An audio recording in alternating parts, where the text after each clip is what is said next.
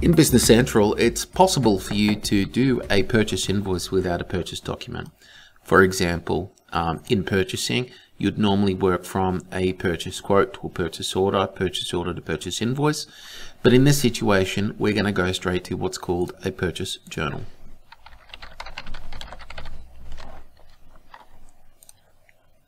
From a purchase journal here, you can see a document that I've already put together that has, it's an invoice and it relates to this external document number for this vendor First Up Consultants. It's for freight, $150. You'll note here that uh, at this stage, if I was to click out of this field, uh, before putting in a balancing account, you'll notice that it's out of balance, okay?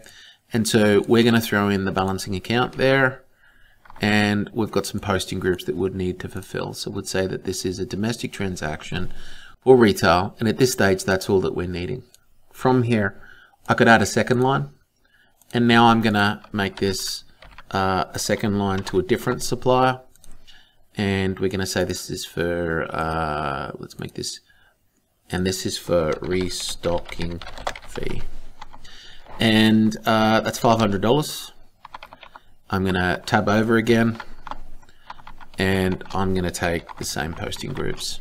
At this stage, this document gives us the ability, obviously, against the line, you can apply dimensions if they're required. Um, you could actually have your dimensions exposed here, like I've got two dimensions just here. Okay, and from this journal, I can take that and look at preview the posting.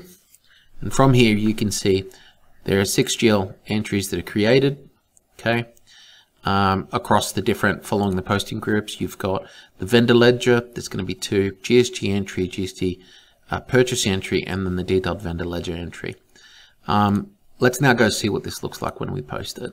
Post, yes, and it's done.